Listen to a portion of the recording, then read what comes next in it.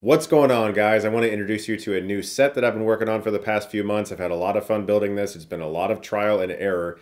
Lighting has been a whole thing, and uh, I'm still figuring it out, so bear with me if things change over the next couple weeks. I want to introduce you to a new segment that I've wanted to do for years, and it's called Feature Presentation. I take that from the fact that back in the day when you would watch a VHS or a Laserdisc or a DVD, before the movie started, there was always coming attractions that you could either skip or fast forward, and then eventually a voice would come on screen and say something like, and now our feature presentation. This segment is super simple. There's really only one hard and fast rule. I can talk about any movie I want, any time of the year.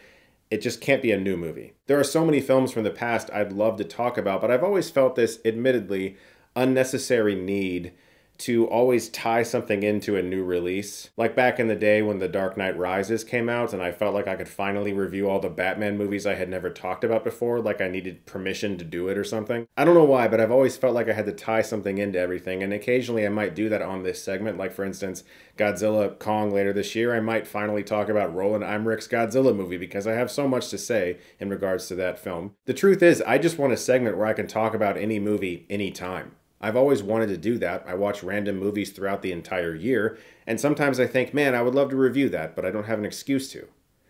So this segment gives me that excuse. At least to start, my opinion of a new release is probably the year that it came out. So, like, technically, if I missed a 2023 movie, I could probably talk about it on this segment if I felt like it, but in general, it's more than likely going to be 2010s and back to start at least. And one other thing that I'm not really going to call a rule, it's just something that's probably going to be on my mind. I doubt I'll talk about too many horror movies on this segment simply because every October I have my Halloween special, and it feels like that belongs there. And I don't want to overload the whole channel with nothing but horror. And of course, I say that while wearing a Michael Myers shirt.